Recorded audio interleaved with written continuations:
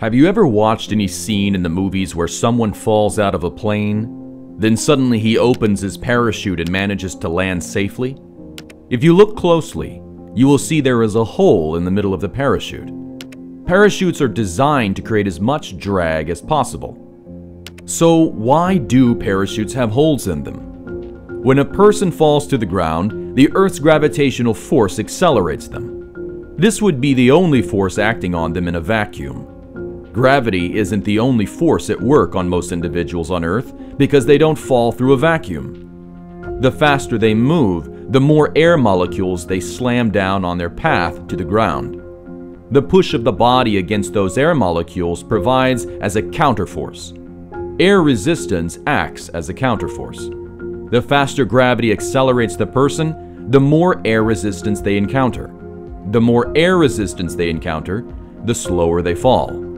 Eventually, an equilibrium is reached between the downward acceleration caused by gravity and the upward push caused by air resistance. This is called terminal velocity. It's the point at which a body will fall no faster. For a free-falling human without a parachute, terminal velocity lives up to its name in more ways than one. Few people survive a long fall to the ground. Enter the parachute. It spreads out over a huge area, causing a falling person to displace much more air as they fall. Since more air molecules are being shoved down by the fabric of the parachute, the parachute and the person attached to it get pushed upwards in return. The equilibrium of terminal velocity is once again reached, but this time it's a velocity that's survivable, all because of the drag of the parachute. So if drag is so critical, and pushing down as much air as possible is the key to slowing a fall, round parachutes with holes don't make sense. The holes let air to pass through and continue its way without slowing down the jumper.